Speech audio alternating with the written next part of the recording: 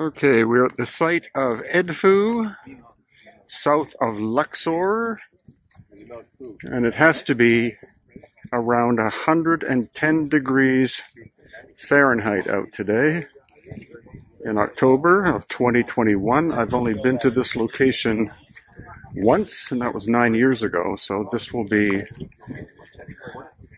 an almost new experience for me. This is a late Ptolemaic construction.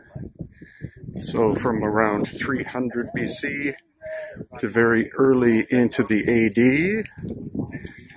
And we're simply going to see what we find.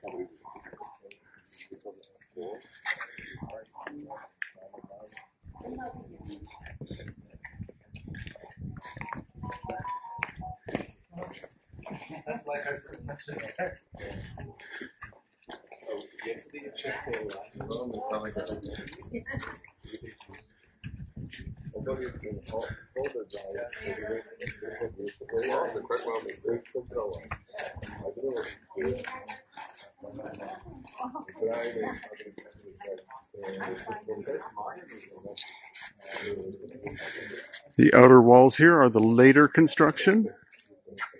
So possibly in Roman times, these were put here as a defense to control access into and out of the structure.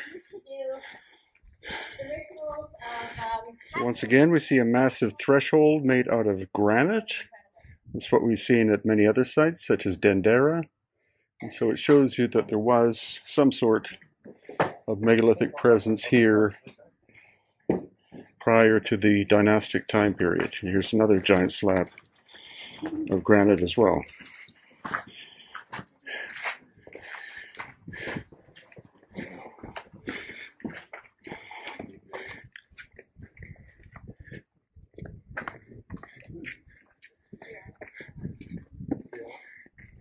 Maybe a wedding. It's a hot ass wedding. yeah. Yeah, you seen the bride too? Nice. Nice. These statues of Horus are probably the most photographed statues of a bird or falcon in the world. There's a depiction of Horus. They both would have been wearing the double crown. And another depiction of Horus here. That means because we are, we've actually um, been able to transmute our polarity and are using both sides of the, both hemispheres of the brain. But this whole temple is dedicated to Horus Behedet, and that means he is the exalted one at Un, the highest state of consciousness. And if you look up, we've seen this image before, the winged disc, and it's always in the center path of the temple. So two statues of Horus, relatively rough in terms of work, so likely from again means this is the dynastic time frame. This is, this is basically when you're centered, you're, transmuting your polarity as you're walking through the temple. That's the whole reason for the temples. Now, as we walk through, the things that the priest did after the priest of Amun is begin to separate out the temples. So the general public could only be in these outer.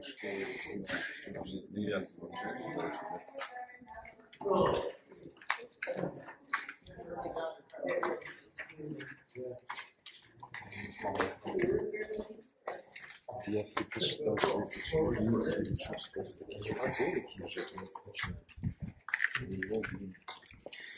So sandstone floor, sandstone columns. The source of sandstone is quite close. Familiar, but this is the temple that has the building text. It's the temple that people talk about. Many people, like Graham Hancock, about um, Atlantis. So you see how massive these columns are.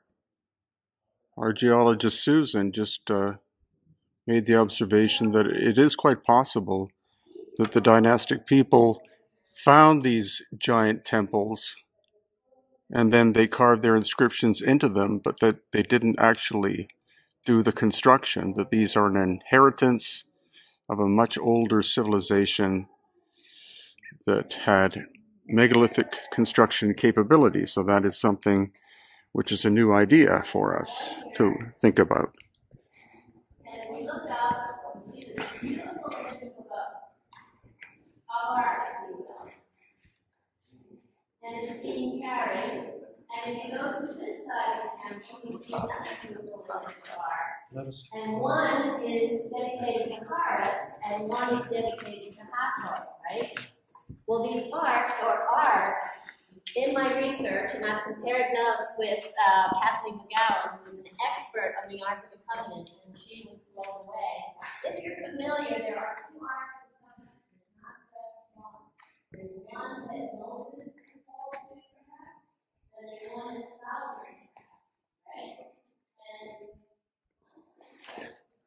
We're also approaching a major megalithic element. You can see that massive um, stone thing in the background, likely Aswan granite, massive in size, and polished very smoothly. So that could be a pre dynastic artifact.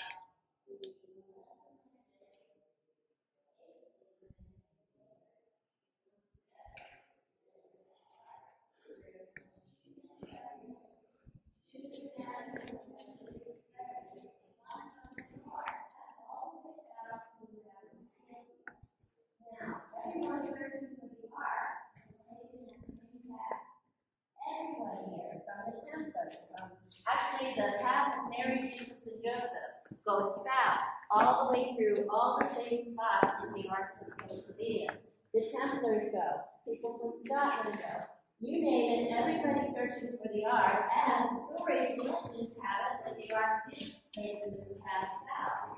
And it ended up, we're going to see a place at L15 where they this house. I'll you the place I took this house. And then he goes further south. So again, just look at the sheer size of these massive, supposedly Ptolemaic columns.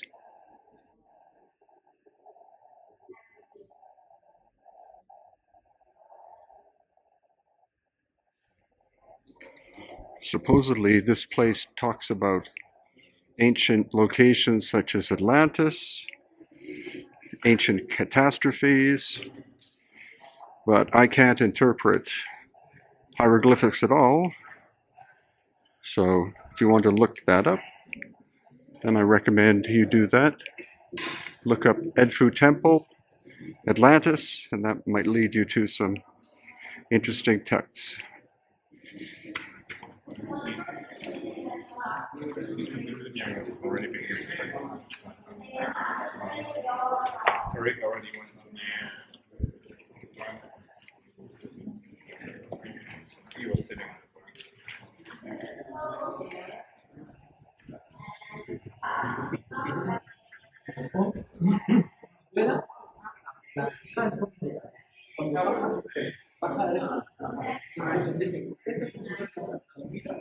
already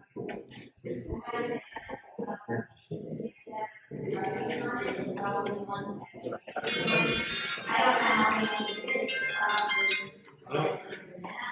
sitting. And here you have that's the top, what would have been the ark sitting here. Greetings. Have, the altars. Can I go upstairs? And of course, an image of the Thank you. back, an arm is sitting here, and how.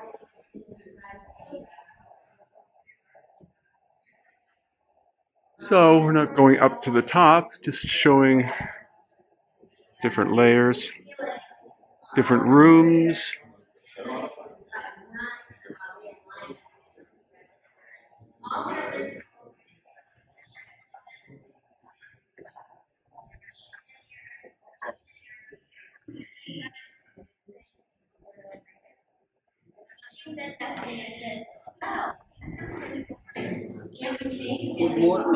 Give you Good own.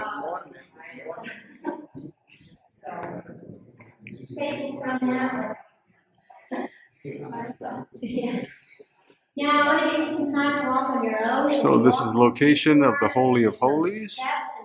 So that is why we see a pre-dynastic uh, large stonework there in the center. It's typical of even dynastic sites that a much older piece would be brought in, usually of granite, in order to bring the ancient structure into the relatively newer structure.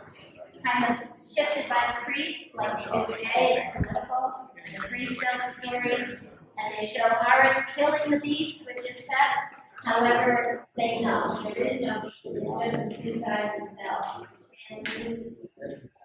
But um, there's also on the back wall that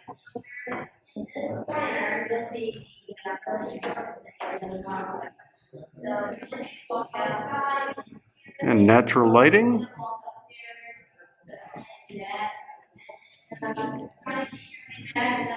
Okay, so we're going back outside of the main temple.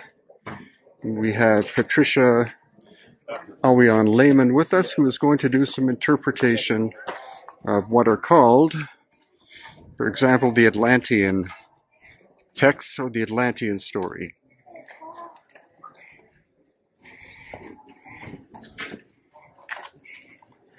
Actually, here, um, Lo ponemos jeroglíficos de Atlantis.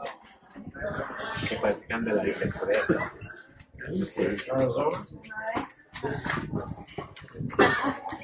So this is where the so-called building texts are located. there's a number on it. Oh, yeah. After this, I can.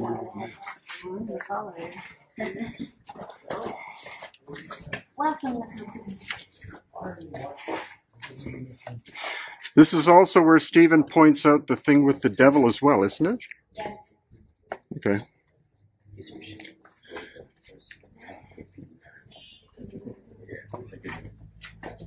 So here is Horus right here in victory. I think this is the hippo is set, so he's riding set.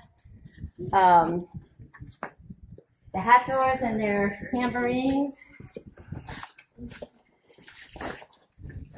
And then all along here, this little animal at the bottom of the spear. Okay, there is Horus, and he's got the spear in set, right, as the hippo.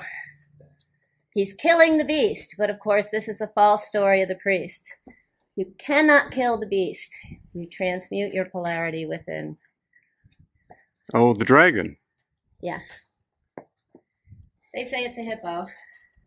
Looks a little like a dragon. That looks kind of dragonish. This one right here? Yeah. Little dragon. Definitely doesn't look like a hippo. Uh, Horus. Hippos don't have necks. Yeah. Yeah. It's, yeah. Stifling. That's the image everybody uses for Zep Tepi, but uh, Where where's that? the one right here with the sail. If you look up Zep Tepi, that's what you usually see online. What that? Yeah. Oh. But again, you can see there's set the set underneath the bark. Uh, yeah, once, once again. It's all a story about the battle between Horus and Set. The story is um, the sun is getting old and weak, and Horus is going to help save him. There's all these neters or whatever that want to destroy the sun. And so Horus turns into the hawk and he rises above up to the sun and he looks down and he's able to see everything going on and save the sun. So it's the restoration of the sun. So the old entire sun, which I relate to the solar flares and everything that's may happen when we initiate the next catastrophic event. And then Horus is our savior and the planet's balance is restored.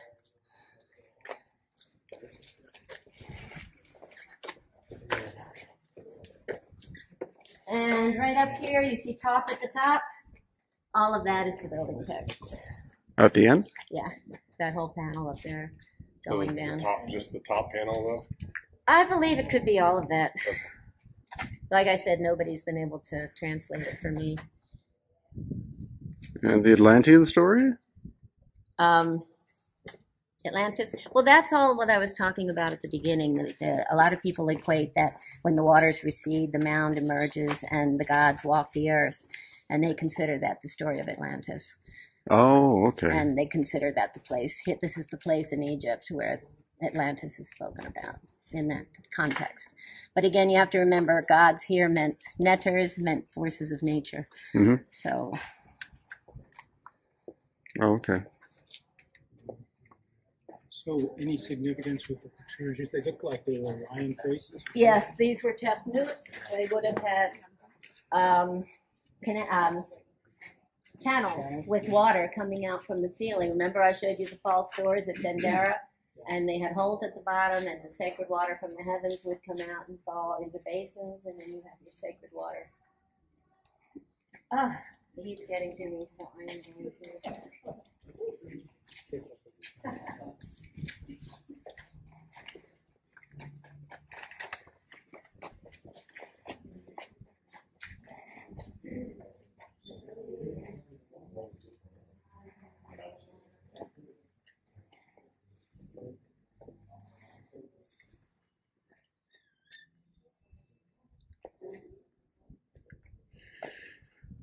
So, of course, people are going to ask about the defacement of the faces. Most probably that was done after the dynastic um, Egyptian time. Some blame the Christians for doing that. Some blame Islam.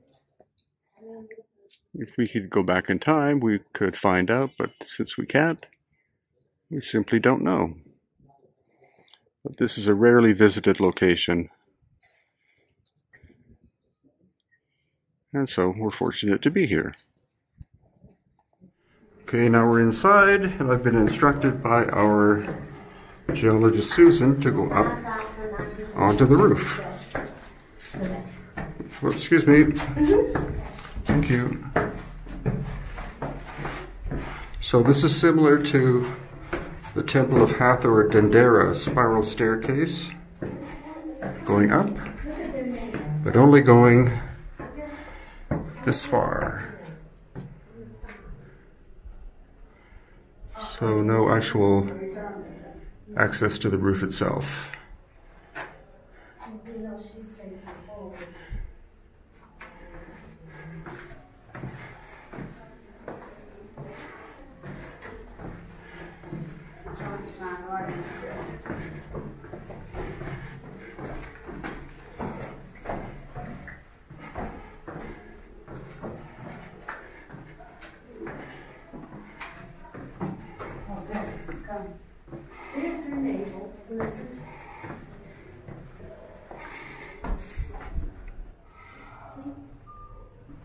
Like a middle level.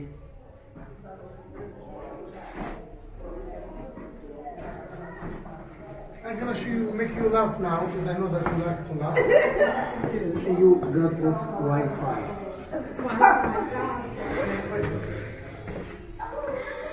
Am I right? What's the phone you want?